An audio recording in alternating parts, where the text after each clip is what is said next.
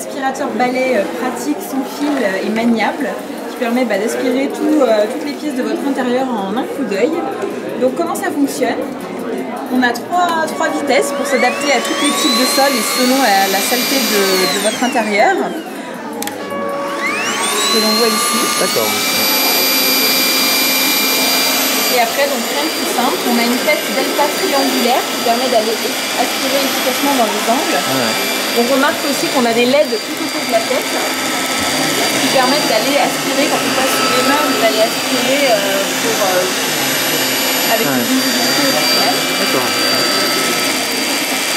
On, a des- on utilise la même technologie donc, euh, que les aspirateurs traîneaux sans sac, technologie cyclonique avec un séparateur air-poussière pour un maintien des performances d'aspiration euh, sur la durée.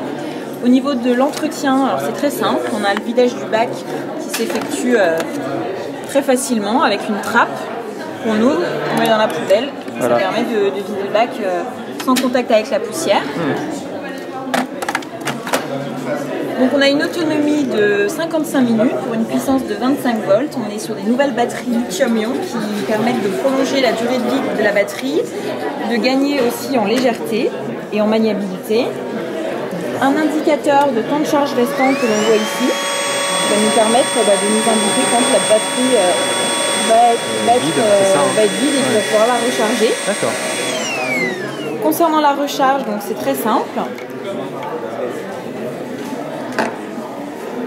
On a donc un câble que l'on branche ici.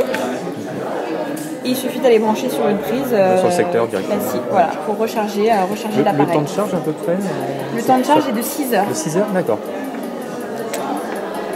Et disponibilité donc euh, Disponibilité en septembre, là, actuellement. Oui. Et Sur au euh, tous les revendeurs, euh, enfin tous les, les mag- chez les magasins spéciaux, les grands magasins, grands euh, magasins, oui, spécialisés. c'est ça, ouais. Auchan, Carrefour. non, plutôt Non. Darty. Ah, plutôt Darty, oui, pardon. D'accord. Pour le moment. Ok. Et à un prix de 249 euros.